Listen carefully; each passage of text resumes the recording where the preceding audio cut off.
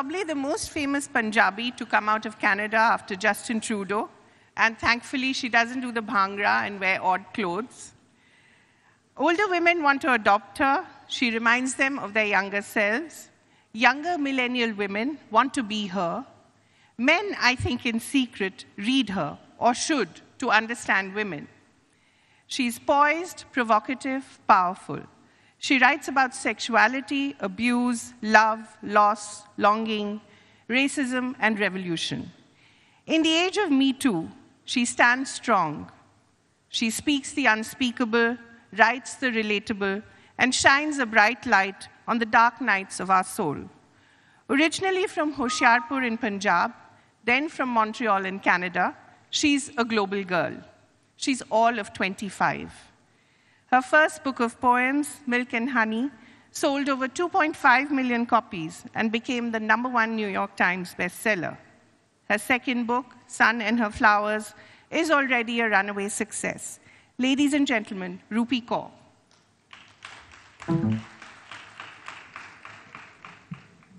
Good afternoon. How is everybody doing? We're good. Okay, fantastic. It's amazing to be here. Thank you so much for a warm introduction. I am actually just wrapping up my India tour. We've been on the road all across the country for the past two months, taking my two books of poetry everywhere. So it's amazing to end it here. So I don't know if any of many of you have heard or are familiar with spoken word, but I'm going to be doing a bit of spoken word. We're going to begin the performance with some spoken word end and then read from the book in between that. So the first piece is called What Love Looks Like.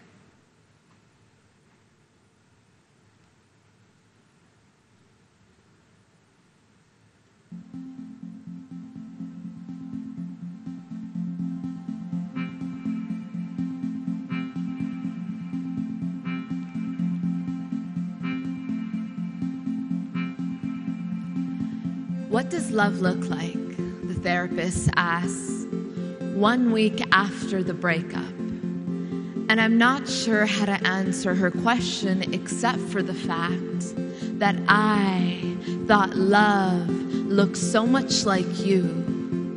And that's when it hit me. That's when I realized how naive I had been to place an idea so beautiful onto the image of a person. As if anybody on this entire earth could encompass all love represented, as if this emotion that seven billion people tremble for would look like a five foot eleven, medium sized, brown skinned guy who likes eating frozen pizza for breakfast. So, what does love look like? The therapist asks again, this time interrupting my thoughts mid sentence. And at this point, I'm about to get up and walk right out the door, except I paid far too much money for this hour. So instead, I take a piercing look at her. The way you look at someone when you're about to hand it to them. Lips pursed tightly, preparing to launch into conversation. Eyes digging deeply into theirs, searching for all the weak spots you most definitely know they have hidden somewhere. Hair being tucked behind the ear as if you have to physically prepare for a conversation on the philosophies, or rather disappointments, of what love looks like. Well, I tell her, I don't think love is him anymore. If love was him, he would be here, wouldn't he? If he was the one for me, wouldn't he be the one sitting across from me? I don't think love is him anymore. I repeat, I think I just wanted something I believe was bigger than myself. And when someone showed up that could probably play the part, I made it very much my intention to make him my counterpart. And I lost myself to him. He took and he took, wrapped me in the word special until I was so convinced he had eyes only to see me, hands only to be me, a body only to be with me. Oh, how he emptied me. How does that make you feel? Interrupts the therapist. Well, I said, it kind of makes me feel like shit. Because maybe we're all looking at it wrong. Maybe we think that it's something to search for out there, something that's meant to crash into us on our way out an elevator or slip into our chair at a cafe somewhere, appear of an aisle at the bookstore looking the right amount of sexy and intellectual. But I think love starts here. Everything else is just desire and projection of all our wants, needs, and fantasies. But those externalities could never work out if we didn't turn inward and figure out how to love ourselves in order to love other people. Love does not look like a person. Love is our actions. Love is giving all we can, even if it's just a bigger slice of cake. It's understanding we have the power to hurt one another, but we're going to do everything in our power to make sure we don't. It's understanding the kind sweetness that we deserve. And so when someone shows up saying they're going to provide it as you do, but their actions seem to break you rather than build you. Love is knowing who to choose.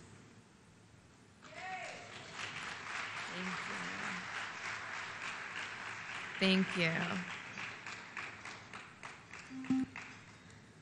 So I wrote a poem on what it's the, the heartache you experience when you lose a friend because I felt like there just were not enough love songs and movies about what it's like to lose a friend.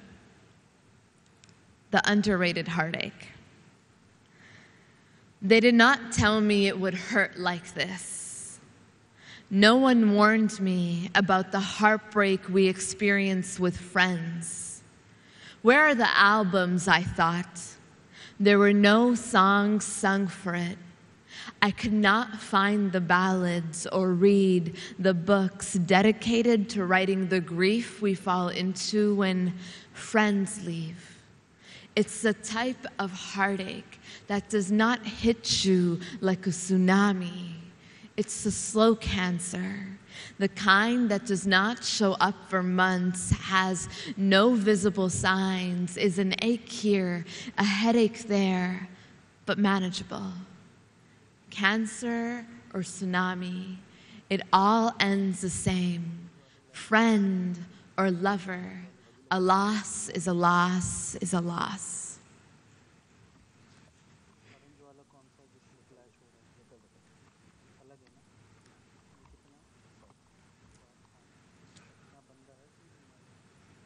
When you find her, tell her not a day goes by when I do not think of her. That girl who thinks you're everything she asks for when you bounce her off the walls and she cries, tell her. I cry with her too. The sound of drywall crunching into itself as it's beaten with her head also lives in my ears. Tell her to run to me. I've already unscrewed my front door off its frame. Inside, there's a warm bath running. She does not need your kind of love.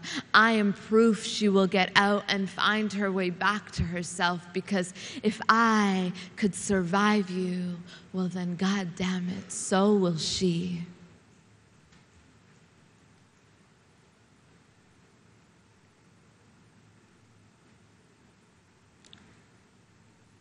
Lessons from Mama. When it came to listening, my mother taught me silence. If you're drowning their voice with yours, how will you hear them? She asked. When it came to speaking, she said, Do it with commitment. Every word you say is your own responsibility. When it came to being, she said, be tender and tough at once. You need to be vulnerable to live fully, but rough enough to survive it all. When it came to choosing, she asked me to be thankful for the choices I had that she never had the privilege of making.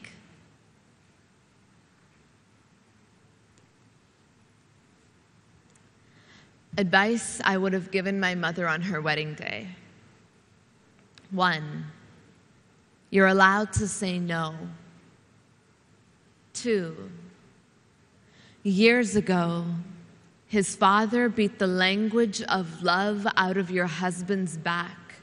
He'll never know how to say it, but his actions prove that he loves you. Three, go with him when he enters your body and goes to that place, sex is not dirty. Four, no matter how many times his family brings it up, do not have the abortion just because I'm a girl. Lock the relatives out and swallow the key. He will not hate you. Five, Take your journals and your paintings across the ocean when you leave. These will remind you who you are when you get lost amid new cities. They'll also remind your children that you had an entire life before them. Six, when your husbands are off working at the factories, make friends with all the other lonely women in the apartment complex. This loneliness will cut a person in half, so you will need each other to stay alive. Your husband and children will take from your plate. We will emotionally and mentally starve you. All of it is wrong. Don't let us convince you that sacrificing yourself is how you must show love. Eight.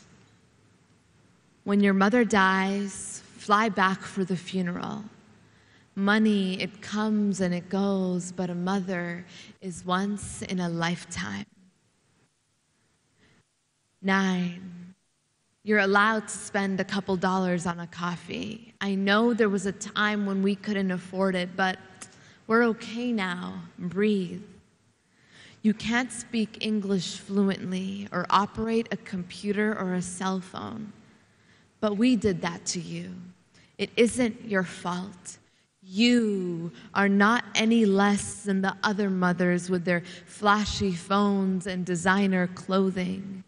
We confined you to the four walls of this home and worked you to the bone. You haven't even been your own property for decades. You are the person I look up to most. When I'm about to shatter, I think of your strength and harden.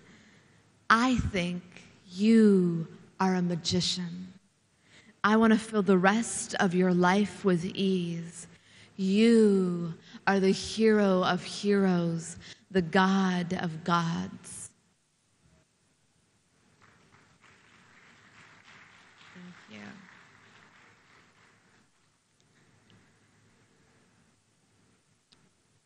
What if there isn't enough time to give her what she deserves? Do you think if I begged the sky hard enough, my mother's soul would return to me as my daughter so I can give her the comfort she gave me my whole life?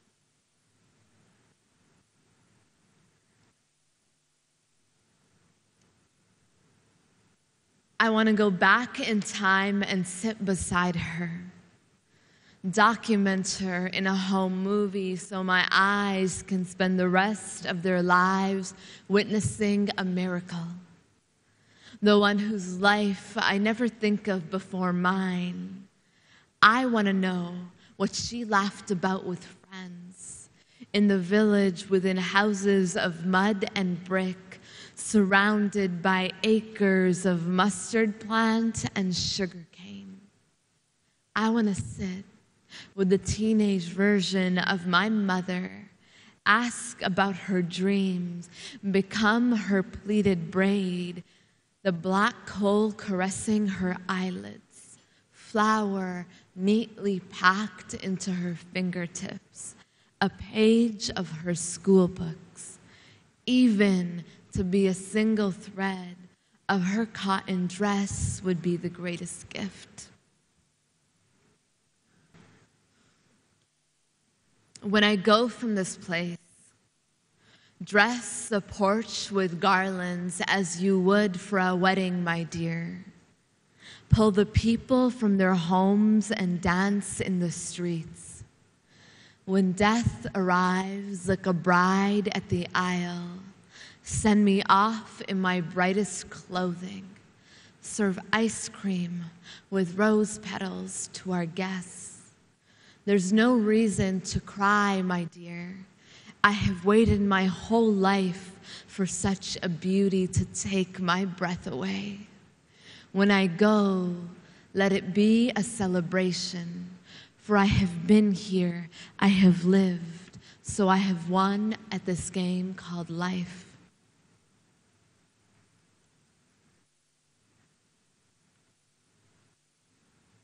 And my favorite piece in the book is called Timeless, and it's dedicated to all the wonderful women who are here today, to all the women who were here before me that allow me to be this person and perform, and to all the women who will come after me.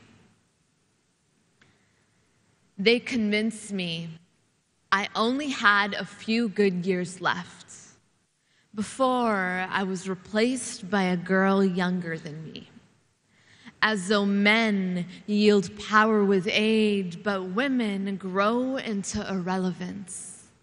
They can keep their lies, for I have just gotten started. I feel as though I just left the womb. My 20s are the warm up for what I'm really about to do. So wait till you see me in my 30s now, that will be a proper introduction to the nasty, wild woman in me. How can I leave before the party started? Rehearsals begin at age 40. I ripen with age. I do not come with an expiration date. And now, for the main event, curtains up at 50, let's begin the show.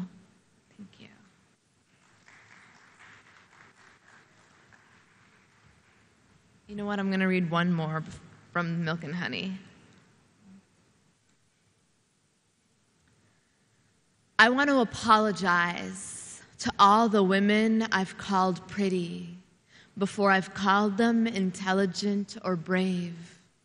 I'm sorry I made it sound as though something as simple as what you're born with is the most you have to be proud of. When your spirit has crushed mountains, from now on, I will say things like, You are resilient and you are extraordinary, not because I don't think you're pretty, but because I realize that you are so much more than that. Thank you. Okay. So, this next piece is called Broken English, and it was inspired by I moved to Canada when I was about three and a half, and growing up in a very Indian home, but then also casually walking to your school with all the white kids, it was difficult because I had to do this fine dance between what the family wanted and what society in the West wanted. And growing up, it was always so embarrassing when we'd go to the grocery store and my mom would be yapping away so loudly in Punjabi to me, and I'd be so embarrassed. I would literally shrink in my clothes and be like, Mom, come on, can you just try to act a little bit more Canadian? And thankfully, I grew up and I think it was around like 21 when I was off at university, I realized, wow, I was so foolish. They dropped everything that they knew and understood for generations and generations, and they showed up at this foreign place and they built this entire life for me and my siblings. And That to me is the definition of art, and that's how Broken English was born.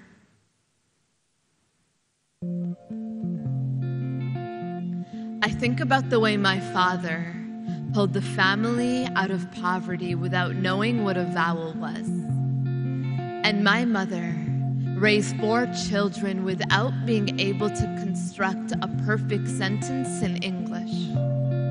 A discombobulated couple that landed in the new world with hopes that left the bitter taste of rejection in their mouth. No family, no friends, just man and wife, two university degrees that meant nothing, one mother tongue that was broken now, one swollen belly with a baby inside, a father worrying about jobs and rent, because no matter what, this baby was coming. And they thought to themselves, for a split second, was it worth it to put all of our money into the dream of a country that's swallowing us whole? And Papa looks at his woman's eyes and sees loneliness living where the iris was. Wants to give her a home in a country that looks at her with the word visitor wrapped around their tongue. On their wedding day, she left an entire village to be his wife.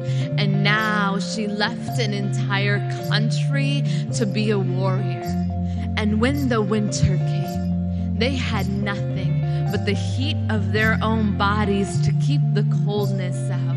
And so, like two brackets, they faced one another to hold the dearest parts of them, their children, close. They turned a suitcase full of clothes into a life and regular paychecks to make sure the children of immigrants wouldn't hate them for being the children of immigrants.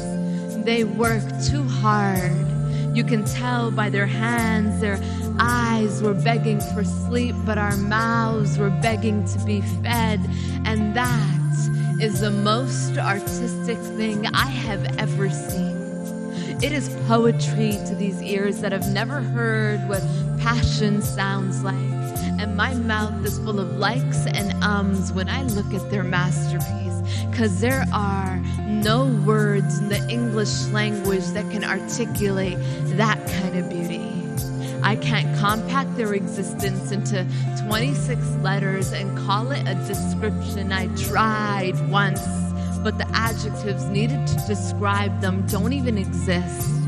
So instead, I ended up with pages and pages full of words, followed with commas and more words and more commas, only to realize that there are some things in the world so infinite that they could never use a full stop.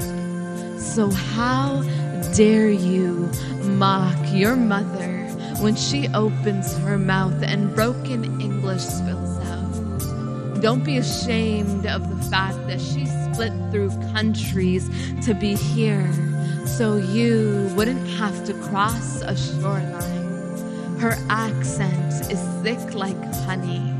Hold it with your life it's the only thing she has left from home. Don't you stomp on that richness. Instead, hang it up on the walls of museums next to Dali and Van Gogh. Her life is brilliant and tragic. Kiss the side of her tender cheek. She already knows what it sounds like to have an entire nation laugh when she speaks. She is more than our punctuation and language. We might be able to paint pictures and write stories, but she made an entire world for herself. So, how is that for art? Thank you. Thank you so much. Thank you for having me.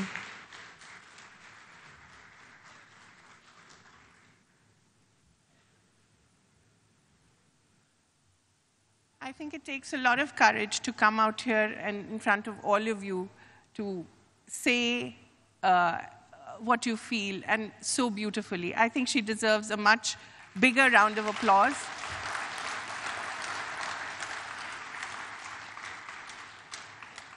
And I think I wanted to start with um, what you said about mothers. Uh, as a mother myself, I often feel not quite, uh, you know, uh, I, don't, I feel that my children don't quite um, respect me or love me as much as uh, they ought to. I think all mothers feel that. And it's so wonderful to hear your tribute to your mother. What does she mean to you? Everything that I basic I mean I've dedicated an entire chapter to her and all of that comes from I think Indian nobody does sacrifice like Indian mothers. Like, yes. And that it shatters me in so many painful ways, but also it opens up my heart with so much love. And I always look at my mom and I'm like, oh my goodness, I will never do and love and raise kids like you because you're just, it's something, something in the water was different there. Um, and I was inspired to write all of those because I was sitting alone, like off somewhere else, far away from my family. And what I couldn't let go of was the sacrifice, was the fact that, you know, she used to be a painter. She went out with her friends when they lived here. She did so many things for herself. And all of that had to stop so that I could be here on this stage today. Thank you. I think, yeah, that really deserves some applause. But um, uh, you know, what is the response that other mothers give you? I've seen videos of uh, um, older women coming up to you and just sort of hugging you and, you know, then tears flow. How is that experience that you've been embraced by mothers as well, not just their I think daughters? The like, I mean, the best is when mom, moms come to the show because that's it. I'm like, okay, fine. I think I've done something right, you know, because um, they've seen so much of the world and of love and of loss and of grief. So it fills my heart with so much joy when mums come. Yeah. Um, I also wanted to ask you a question about the Me Too movement. It's so much about uh, abuse and, um, you know, all that women have gone through. And there's finally an outpouring of anger and rage. Uh, and you um, uh, echo so much of that or rather that echoes so much of what you feel as well. How mm. difficult is it to really write from the heart, from deep inside your soul? So I always say it wasn't difficult. And I don't know if that's the right answer or the wrong answer. And the reason I say that is because when I started to write, I started performing nine years ago. And strictly, literally, the only content I performed was about sexual abuse and the violence inflicted on women's bodies because that's what I was seeing around the Indian diaspora community around me living in Brampton. And so it was almost like bursting out of me, and that's why it wasn't difficult. What was difficult was going up on stage, performing it, and then people coming up to me afterward. And this is when I was a lot more impressionable and cared a lot more about what people thought. Um, but they were like, oh, th- that makes me really uncomfortable. She's so aggressive. And I questioned, why am I talking about this? You know, I don't want to make people uncomfortable. I want them to like me. But then I realized that somebody has to write poems about this. You know, I would love to write love poetry, and it's great, but who's going to document the struggles that women are facing and the violence that's inflicted onto them? Um, uh, while you've got a lot of praise, a lot of people are quite mean to you as well, especially on Twitter. They don't really like you on Twitter. What's the meanest thing that they've said? And, you know, how do you react to that? So, the fabulous thing about Twitter is that there's a logout function that I've effectively used very well. So, I actually don't know what the meanest thing is. So, you just use that? Um, I just use I use Instagram. I have my Twitter account up and running, but I'm no longer really using it. How has your Sikh identity shaped you? Very much. Uh, I grew up, you know, reading a lot of Sikh poetry, playing kirtan for about eight years. That was really my first ever performance gig. Um, and it was something that we, I think a lot of it echoes in the love poetry, and a lot of it echoes in chapter five. Uh, because we grew up talking about verses and all of those things, the idea that we should always push for a more freer and kinder and safer society for all, all of that really went into the poetry and comes from my Sikh upbringing. Uh, you once posted a picture of um, yourself menstruating on Instagram, and it sort of, was it on Facebook? Sorry. And it got huge backlash, but it also established who you were. You were unafraid, fearless, willing to put yourself out there. When you look back at uh, that you so many years ago, what do you feel now? I I feel good. I mean, that was so I did a project for school. It was my last year of university, and we were supposed to create images that battled some sort of taboo, and it was actually a part of the project to put them online. And so everything that happened after that, I was so shocked by it, and that's probably my own naivety. Um, but I look back and I'm like, that's really cool. I hope I can continue to have that type of courage again. Uh, there's this, been this outpouring of teenage angst of late. We've had Lady Bird, this wonderful film that chronicles a young woman's journey to college. There's been 13 Reasons Why that looks at, uh, you know, how uh, a young woman is so depressed, depressed enough to kill herself. Uh, how is that part of what you're saying? I mean, that's, that's really one of the reasons why your poetry is so popular as well, mm. isn't it? Um, sorry, it, you... it, it, it, echoes, it echoes mm. this whole uh, sort of teenage angst moment that we're in, right? Yeah. I mean, I think what I'm seeing in the younger generations is this need to go back to their roots and their desire to heal and their desire for self care and their desire to focus on the self and shed the trauma of past generations. And to be more visible. Yes. And to be heard and to be seen. Exactly. And so often, you know, young people are just like brushed off as being spoiled, silly, not intelligent enough. And so I think I was, when I'm writing these books, I'm also you know, I was 18, 19, 20, so it's like they're kind of growing up with me. And I think because I'm writing so raw and honestly about how I feel, it is naturally, it resonates. Because I read a couple of years ago somewhere that the thing that you fear the most is the thing that's most universal. So that's kind of my, the quote that I hear in my head every time I go to write. So I'm like, okay, write it, just write it, don't be scared no one's going to come hate you on Twitter and, you know, that whole thing. and my last question yeah. uh, where does this fear and loathing of yourself come from? You're so beautiful, you're so accomplished, and yet, uh, you know, there's this fear and loathing that you sort of grew up with, and still you see traces of some of that in your poetry. Mm. Why? Um, I ask myself that question every day. I think we don't see ourselves how the world sees us. Like, I don't see myself how you see me. I see myself through my lens, and that lens has probably been tainted with the words and the things that people have said and done over the years. And I think that's really hard to unlearn. And a lot of women, because I, you know, there's so many of my friends who are like supermodels and like six feet tall and so gorgeous, and they'll complain all the time that they don't feel beautiful enough and all those things. And I look at them, I'm like, she's got to be lying, right? um, that's ridiculous. But they genuinely they can't see that, and I think that's why, like, it's true. Beauty is so much deeper than what's on the outside. If you don't feel it on here, you'll never see it out here. Brown is beautiful. Ladies and gentlemen, thank you very much. Thank you, Rupi. It was fantastic.